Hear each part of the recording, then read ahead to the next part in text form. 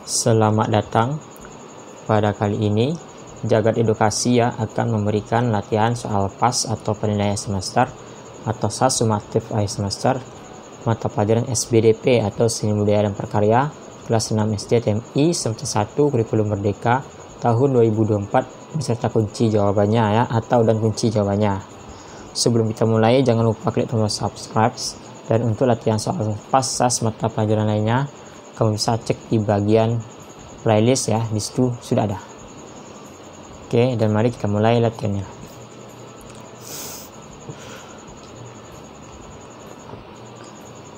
oke kita lanjut ya nomor satu reklame yang dibuat pada selembar kertas dengan isi formasi yang lebih rinci dan jelas disebut A. Embalase B. Brosur C. Poster D. Baliho Maka jawaban yang benar adalah B. Jawabannya brosur ya jawabannya.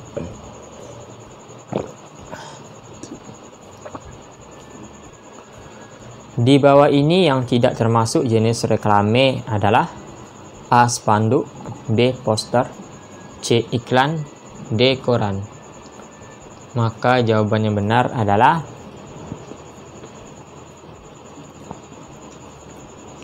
D. Koran jawabannya ya.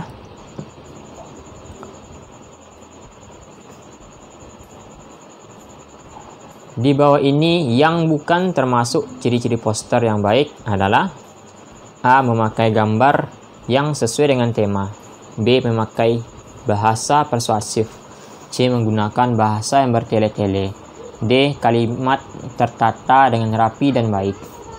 Maka jawaban yang benar adalah Oke, maka jawaban yang benar adalah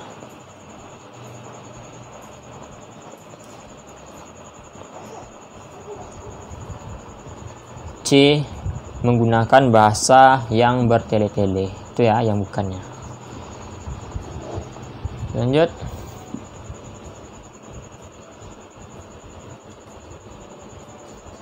Hal pertama kali yang dilakukan sebelum membuat poster adalah A. Membuat gambar B. Menentukan tema C. Memilih media D. Membuat slogan Maka jawaban yang benar adalah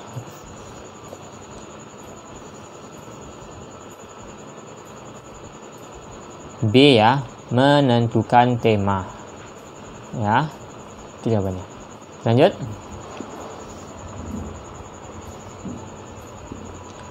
Brosur merupakan bagian dari karya seni rupa yang berfungsi sebagai media titik-titik untuk informasi.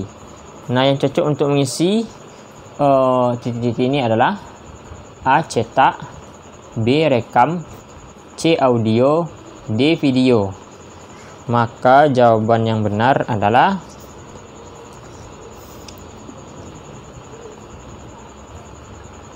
Jawabannya A yaitu media cetak untuk informasi ya. Brosur merupakan bagian dari karya seni rupa yang berfungsi sebagai media cetak untuk informasi A jawabannya.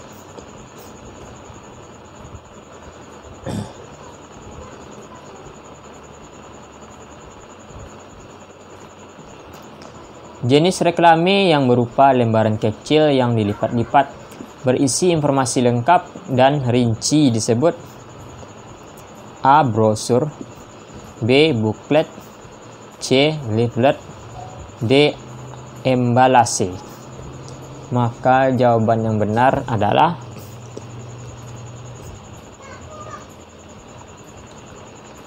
D ya, embalase jawabannya. Lanjut.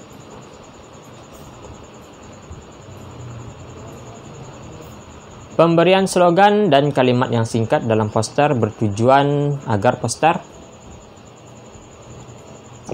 A. Terlihat indah dan menarik B. Dapat dibaca sambil lalu C. Dapat dipahami masyarakat D. Memiliki informasi yang rinci Maka jawaban yang benar adalah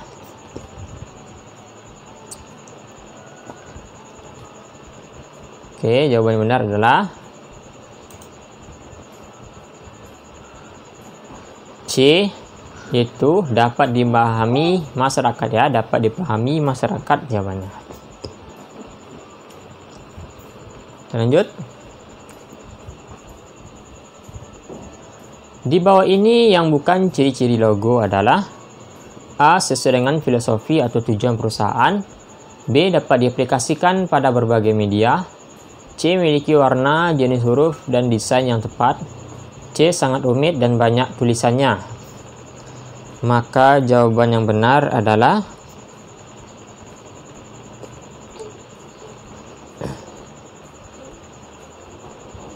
D ya, sangat rumit dan banyak tulisannya itu ya yang bukan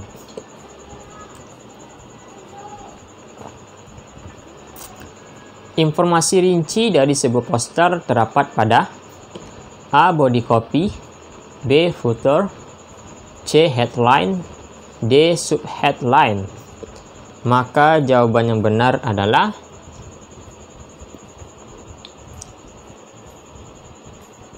A ya Body copy jawabannya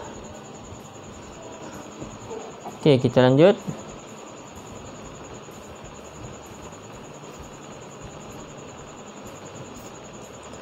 Salah satu alat promosi yang memiliki bentuk seperti buku kecil disebut A. Baliho B. Brosur C. Booklet D. Leaflet Maka jawaban yang benar adalah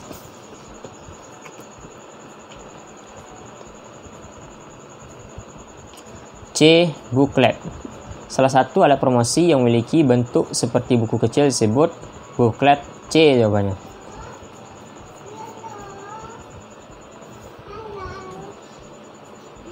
Suatu instrumen yang dibuat atau dimodifikasi untuk tujuan menghasilkan musik disebut A. Lagu B. Nada C. Bernyanyi D. Alat musik Maka jawaban yang benar adalah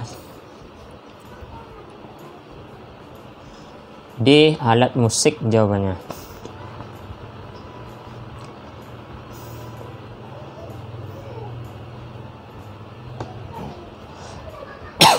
Oke. Empat eh lima empat lima empat enam dinyanyikan. A sol re fa. B la fa sol. C sol fa la. D sol mi la. Maka jawaban yang benar adalah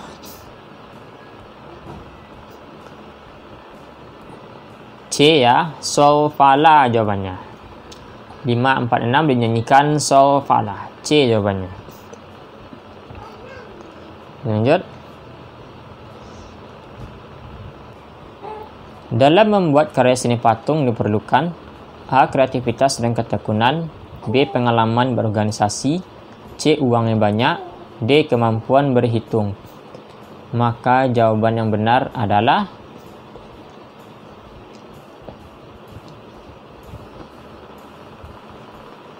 A. Yaitu kreativitas dan ketekunan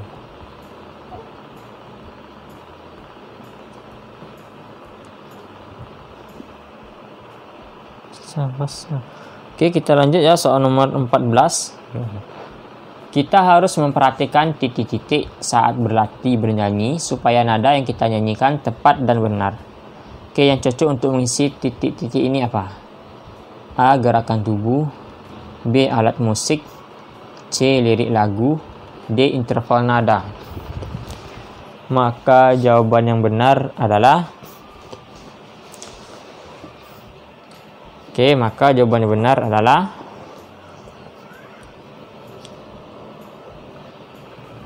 D yaitu interval nada ya jawabannya. Berikut ini adalah musik melodis kecuali A. Recorder B. Flute C. Rebana D. Viola Maka jawaban yang benar adalah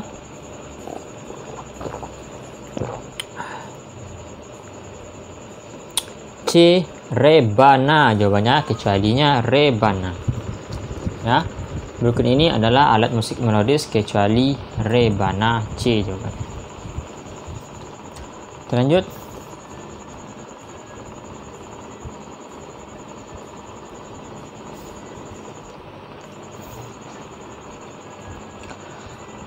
Para penari berbaris di depan ke belakang. Pola lantai digunakan adalah A. Vertikal B. Diagonal C. Melengkung D. Horizontal Maka jawaban yang benar adalah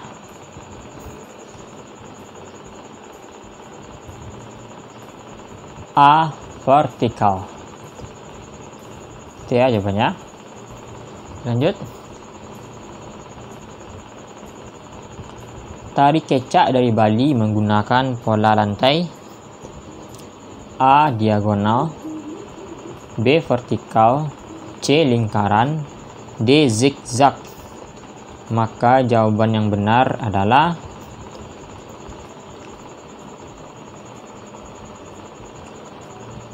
C. Lingkaran Tari kecak dari Bali menggunakan pola lantai lingkaran C jawabannya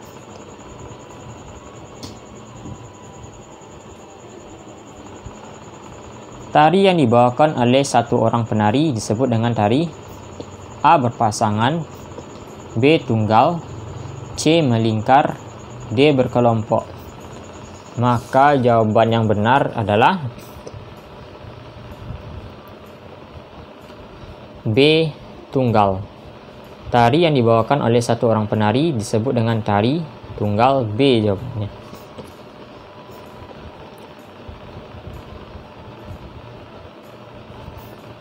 Seniman yang menciptakan gerak tari dinamakan A. Fotografer B. Pujangga C. Komposer D. Koreografer Maka jawaban yang benar adalah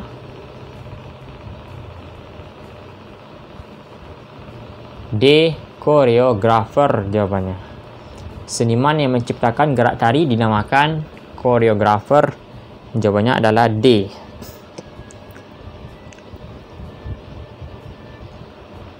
Berikut adalah fungsi dari perlengkapan pada seni tari kecuali A. Membantu menjelaskan okay. B. Menambah keindahan C. Untuk bergaya D. Memperkuat karakter Oke, okay. jawaban yang benar adalah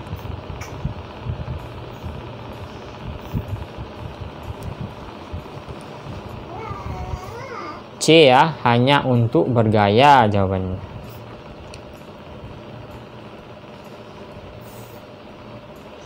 Oke, kita lanjut. Teknik membuat patung dengan cara menggabungkan bahan satu ke bahan yang lain untuk mendapatkan bentuk tertentu dinamakan teknik A. Butcher B. Pahat C. Cetak D. Las maka jawaban yang benar adalah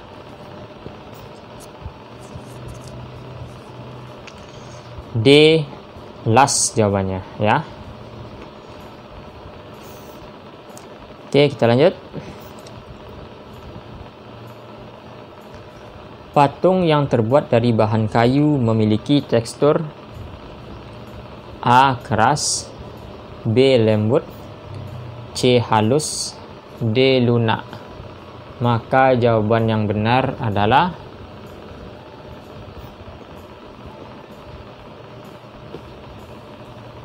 A. Keras. Patung yang terbuat dari bahan kayu memiliki tekstur keras ya, jawabannya A.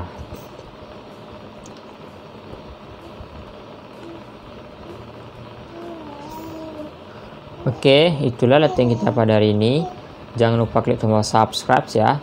Dan untuk latihan soal uh, pasas mata pelajaran lainnya ya kamu bisa cek di bagian playlist ya di bagian playlist juga ada. Oke sampai jumpa di video selanjutnya